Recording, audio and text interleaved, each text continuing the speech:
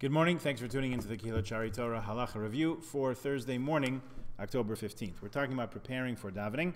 There is a mitzvah to wash your hands in preparation for davening, mentioned in the Gemara in Brachas. Uh, some of us uh, learned, actually, no, with this we no, we did come to this. Uh, speaking about uh, Kriya Shema, it talks about uh, washing hands in preparation uh, for prayer. One who washed hands upon awakening in the morning does not need to wash them again.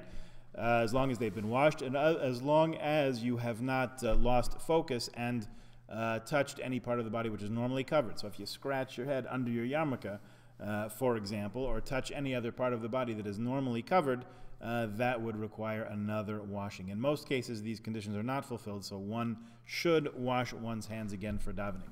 Uh, I remember in yeshiva very distinctly, uh, one of our rabbis was walking along and talking to some people about a, a, a, uh, an idea that had come up in uh, the class in the shiur, and he noticed his shoe was untied. So he stopped and he tied his shoe, and he said, "Wait a minute, I can't continue talking and learning unless I wash my hands." To, he had to go wash his hands uh, with a washing cup before he could continue saying words of Torah. So when you uh, even tie your shoes, uh, it's uh, it's required to uh, wash your hands before you can daven or say Shema or anything else. Uh, also, a good reason to wear loafers. Just saying.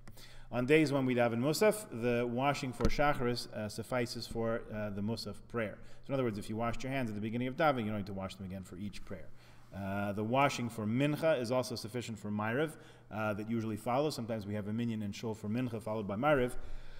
So there's no requirement to run out and wash your hands uh, in between those two. In either case, if you touched, as we said before, an area which is normal, uh, part of your body which is normally covered, we should wash our hands again for the second davening. If you washed your hands uh, for uh, davening and then you learned a little bit, there was a shiur uh, that you joined, there was a discussion in uh, in some topic in learning that you that you took part in uh, you do not need to uh, wash your hands again. It's not considered a, an interruption or anything.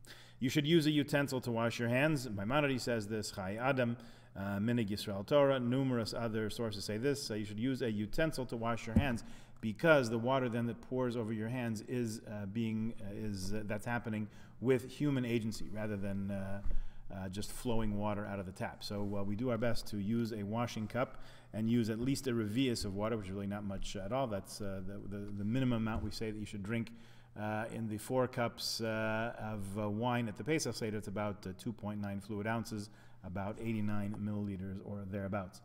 no need to wash more than once on each hand. ideally, you should wash the whole hand. If you can't wash the entire hand, just wash up till the third knuckle, up to where the fingers join the hands. Uh, many are careful are not careful to wash their hands for tefillah. You should point this out to people. You can wash your hands for davening in a bathroom sink if there is no other option. Additionally, there's a mitzvah to wash your face and rinse your mouth before davening in the morning. Uh, certainly to wash your mouth because you're going to pronounce Hashem's name. You want it to, to be with a clean with a, a, clean mouth.